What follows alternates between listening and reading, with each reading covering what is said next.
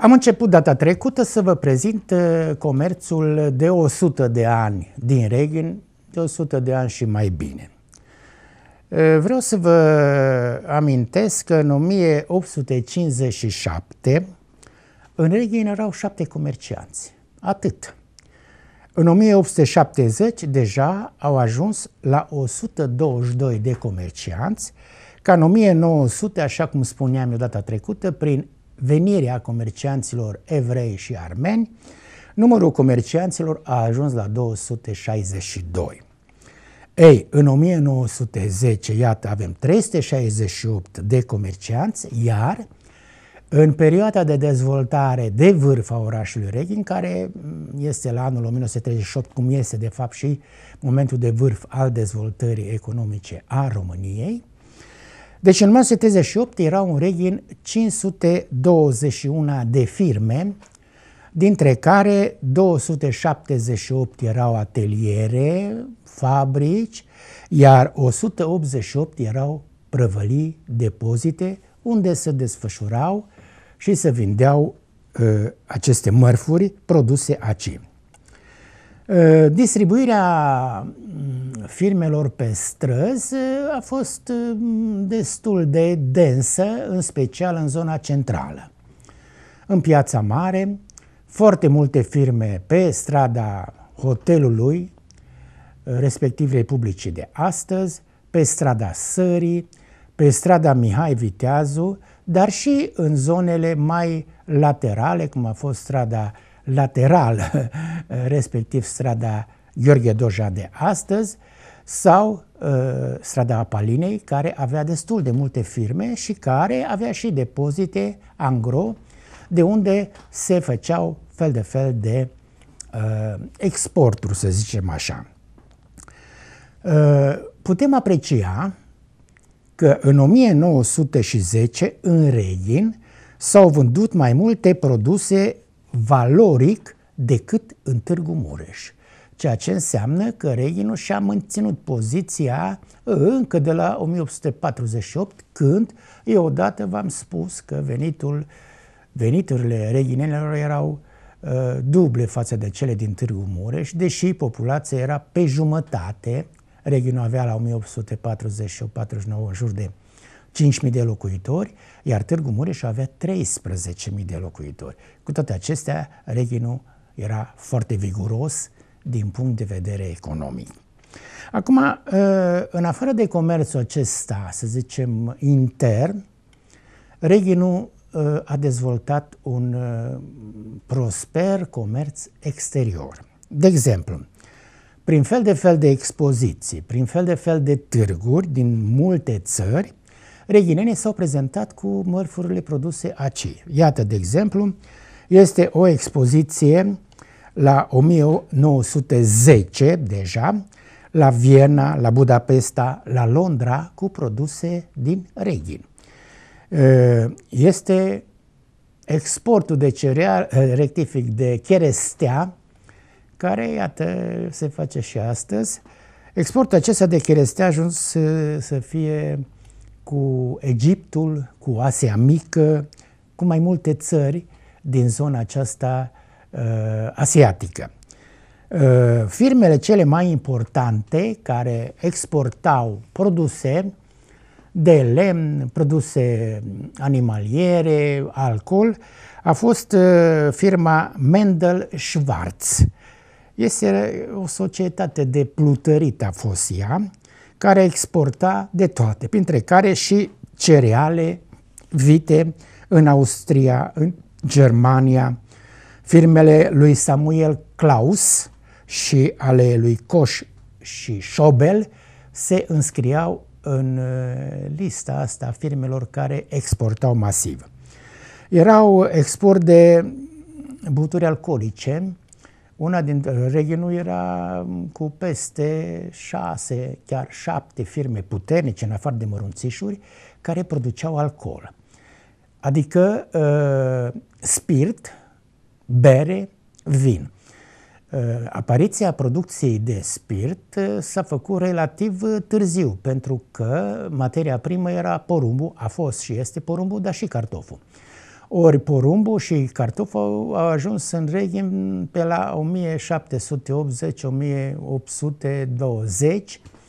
Până atunci, porumbul, considerat ca grâu turcesc, a fost interzis să fie cultivat în hotarul Reghinului.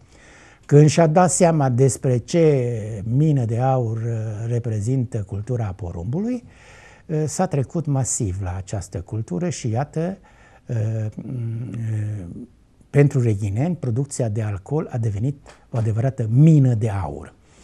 Una dintre cele mai mari fabrici de spirit a fost firma lui Mendel Farcoș din strada Apelor, Uh, clădirea se păstrează și astăzi în piața mică. Avea intrarea de pe strada Porodicii, adică Aurel Vlaicu de astăzi, uh, și firma a fost preluată de comuniști, a fost transformată în sectorul vin-alcool, apoi, după 1990, a fost uh, firma vândută. Deci comerțul se desfășura am spus eu, sectorial și de aceea aș vrea să mă opresc puțin la aceste sectoare. Și anume, comerțul cu lemne se făcea de 13 firme din Reghin, între care firma Heinrich Moroșe și e, cu depozitul de lemne, scânduri, lețuri, cărbuni e, și firma lui Mayer Johan, care era pe strada Medie la numărul 19. Interesant că, iată, mi-apare mie în documente comerțul cu hârtie. O treabă deosebită la Reghineni, care se făcea prin trei firme. Papitărie, tipărituri, cărți, etc. Firmele erau librăria populară din strada medie numărul 2. Strada medie este Mihai Viteazul de astăzi, partea ei de început. Firma, deci, a lui Rudolf uh, Bogner, din strada hotelului la numărul 18, firma Librăria Nouă din piața mare de la numărul 56, unde se făceau tipărituri și iată avem o tipografie acționată pe bază de energie electrică. Uh, comerțul cu bere. Comerțul cu bere era foarte cunoscut în Reghin. Uh, orașul chiar avea o berărie unde a fost uh, cândva cooperativa Lem Metal pe Călăraș în jos. Actualmente este un supermarket acolo. Aia a fost o berărie a primăriei de aceea, strada Călărașilor, multă vreme, s-a numit uh, strada Berăriei. Ei, s-a ajuns la un moment dat uh, să se facă și export cu bere de reghin. Uh, de fapt, multă vreme s-a făcut bere bună la reghin până prin 1990 după.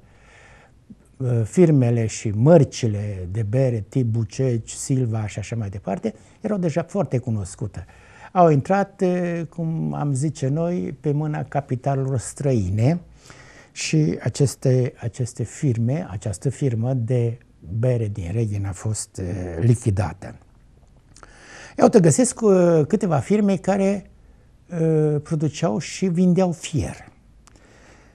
Este vorba de firma lui Andraș Bosch, de la numărul 49 din piața Petru Maior, frații Wagner, avea uh, prăvălie de fier, vopseluri, uleiuri de pe strada Sării numărul 3 și firma uh, Rösler Gustav, care era din piața asta mare, la numărul 55, vindea fier în drugi, vindea osii, uh, tinica neagră, tinica galvanizată, deci uh, erau deja destul de bine specializați în producția de obiecte produse din fier.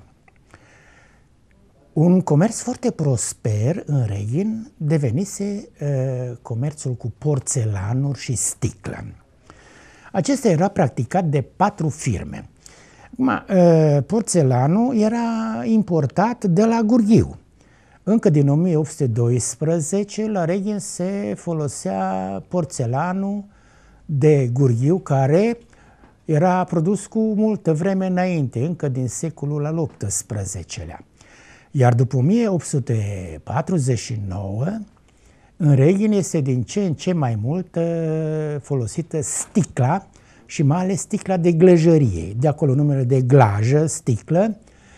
Acolo s-a întemeiat o fabrică de sticlă despre care unul dintre memorialiștii de la 1848 este vorba de uh, Martin Emmerich, uh, prezintă această fabrică de sticlărie care a funcționat multă vreme, numai că din anumite motive uh, glăjăria uh, s-a desfințat, a rămas numele de glăjărie de la glajă, de la sticlă.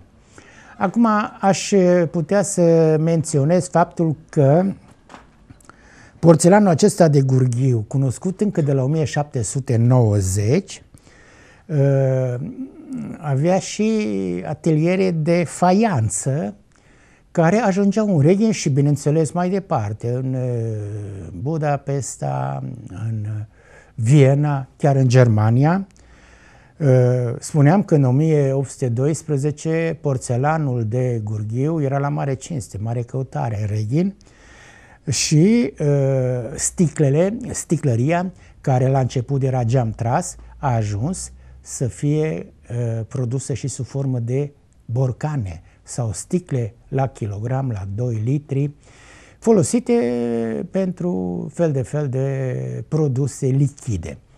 Ei, firmele care au produs și altele și care au vândut și altele sunt mult mai multe și uh, la aceste firme ne vom opri într-o altă întâlnire.